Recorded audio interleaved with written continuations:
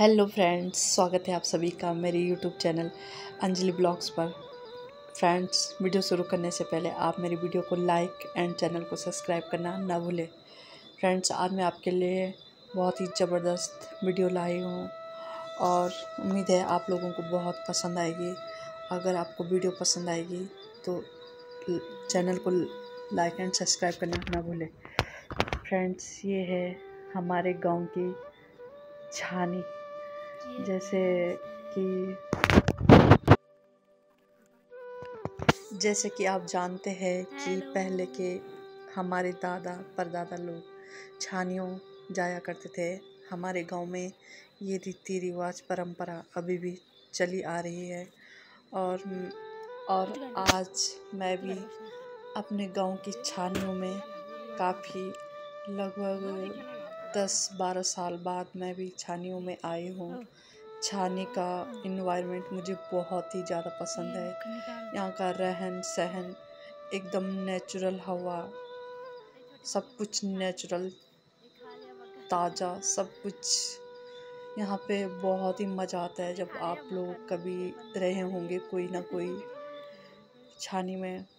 तो आप लोग जान सकते हैं कि छानियों में कितना आनंदमय जीवन है। यहाँ पे लोग पशुओं को ले जाते हैं तीन चार महीने के लिए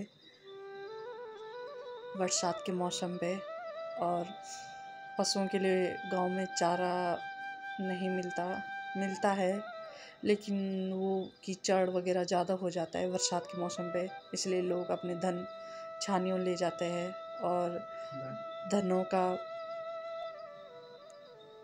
पालन पोषण भी अच्छा होता है गाँव, छानियों में।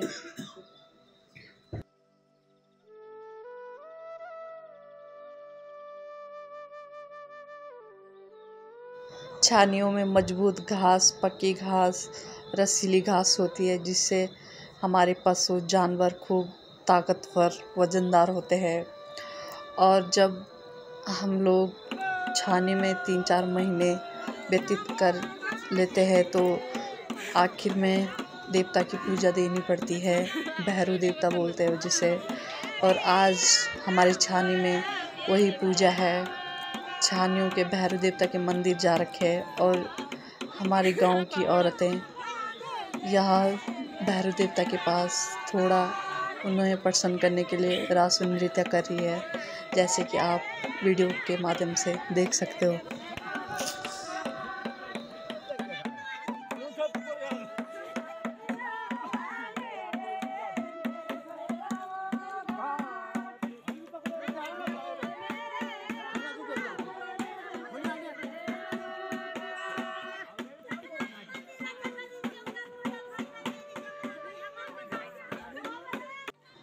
गाइस मैं आपको बताना चाहती हूँ कि जो हमारे गाँव की छानी है, वहाँ का नाम मांझी है और मांझी पड़ता है डोटी ताल मार्ग पे। हमारे छानियों से, मांझी से डोटी ताल की दूरी पाँच किलोमीटर दूर है और यह एक पर्यटक स्थल में आता है। यहाँ पे दूर दूर से सैलानियाँ घूमने आती है और जैसे कि देश विदेश से फॉरेन कंट्री से भी लोग यहाँ घूमने आते हैं, अंग्रेज़ लोग काफ़ी आते हैं और कुछ अपने देश से आते हैं, महाराष्ट्र, कोलकाता। कभी आपको भी मौका लगे तो आप भी ज़रूर आएगा हमारे इधर घूमने। माँ अन्नपूर्णा और भगवान गणेश जी के दर्शन करने ज़रूर आएगा। और देख के जाएगा कि हमारे इधर किस तरह से लोग देवी देवताओं में आस्था रखते हैं। पुरानी रीति रिवाज, परंपराओं को निभाते हुए आगे का जीव हमारे पहाड़ की असली शान यही है कि हमारी जो पहचान है वो हमारे कपड़ों से, हमारी पहनावट, हमारे पूर्वजों, दादा परदादाओं के जो हमें दिए हुए संस्कार, उसी को आगे बढ़ाना, हमारे गाँव के लोग बहुत ही सीधे भोले होते हैं। अपनी जो हमारी गढ़वाल की परंपरा है, ये हम ही लोगों हमारे गाँव के लोगों और गढ़वाल में बहुत ही लोग हैं जिनकी वजह से अभी तक गढ़वाल की संस्कृति, मान मर्यादा, ज़िंदा है, जो इस परंपरा को निभाते आ आ रहे हैं। जैसे कि आप देख सकते हो कि जो हमारे दादा, परदादा लोगों ने किया था, वो अभी तक भी हमारे गाँव में चली आ रही है प्रथा और हम ये चाहते हैं कि भविष्य में ये कभी बंद ना हो। हम इसे कंटिन्यू रखना चाहते हैं।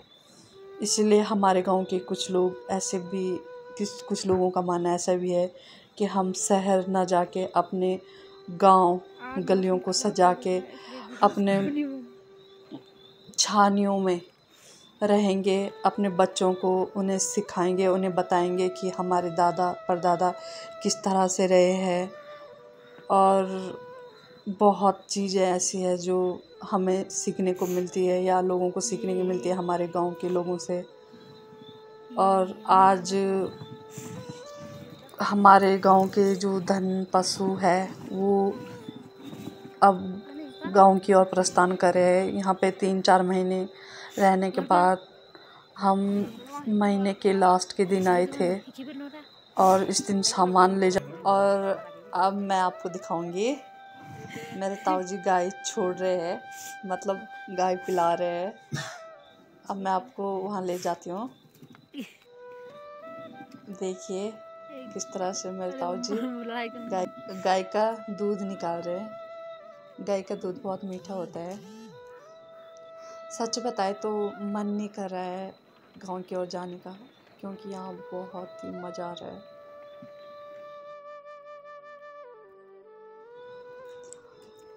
और आज हम लोग गाँव की ओर प्रस्थान करेंगे। मैं कल आई थी और आज नीचे जाएँगे हम लोग। ये देखिए, प्यारा सा हिरन का बच्चा है। देखो कितना क्यूट सा हो गया ये ये हमें जंगल में मिला था। हम इसको पाल रहे हैं। अब जब बड़ा हो जाएगा तो हम उसे जंगल में छोड़ देंगे। और ये धन पशु हमारे जा रहे हैं गाँव की ओर। प्रस्थान कर चुके हैं हम। ये किसने बनाया? और ये है विजार देवता। पेड़ पे होता है ये जंगलों में। धन गाय पशु पक्षी की रक्षा करते हैं। और यहाँ पे हम उन्हें फुरके बोलते हैं दुपट्टा होता है भगवान का। उन्हें बांधते हैं और यहाँ पे रोट पूजा पाठ करते हैं। रोट सिर पर आदि चुन्नी वगैरह देते हैं। पूजा पाठ करते हैं और भगवान को धन्यवाद करते हैं कि आपने हमारी पशुओं की रक्षा की है। इस तरह से प्रार्थना करते हैं। हाँ, गाइस अगर आपको मेरी वीडियो पसंद आए तो वीडियो को लाइक एंड चैनल को सब्सक्राइब करना ना भूलें। मैंने ये वीडियो बहुत ही मेहनत से बनाई है। मुझे ही पता है इस वीडियो को बनाने के लिए मुझे क्या क्या करना पड़ा कितनी एडिटिंग वगैरह कितने शॉर्ट्स लेने पड़े। आप वीडियो को लाइक एंड शेयर करना ना भूलें। गाइस मैंने आपको इस वीडियो के माध्यम से अपना रहन सहन गढ़वाल का पहाड़ी खाना खान पान परंपराएँ आपको इस वीडियो के माध्यम से दिखाने की कोशिश की है। छोटा सा वीडियो था और अगर आपको मेरी ये वीडियो पसंद आती है तो वीडियो को लाइक और चैनल को सब्सक्राइब करना न भूलें। धन्यवाद।